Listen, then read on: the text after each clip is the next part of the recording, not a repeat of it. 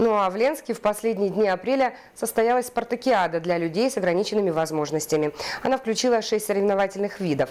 В спортивных и интеллектуальных состязаниях сразились участники из Ленска, Уртон-Нахара, Наторы и Южной Нюи.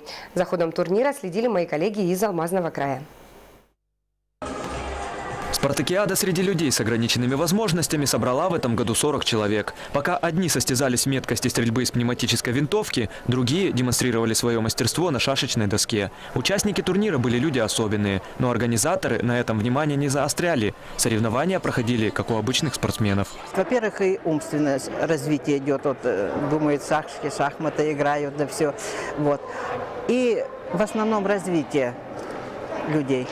Вот бросок мяча в кольцо тоже э, движение, все это.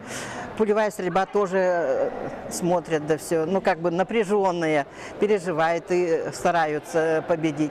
Один из участников спартакиады, Алексей Ибрагимов, уже три года занимается баскетболом. В республиканском турнире памяти Александра Сорокина он был в составе юношеской сборной. Если бы не баскетбол, что бы я делал? Дома сидел, в компьютер играл. Это мне вообще как-то не очень нравится. Я прихожу на площадку, я тут, можно сказать, целый день. Прихожу со школы сразу на тренировку. Все, тут могу по несколько часов заниматься.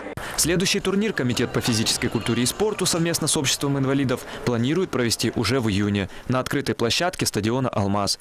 Там соревновательные виды будут организованы с легкоатлетическим уклоном.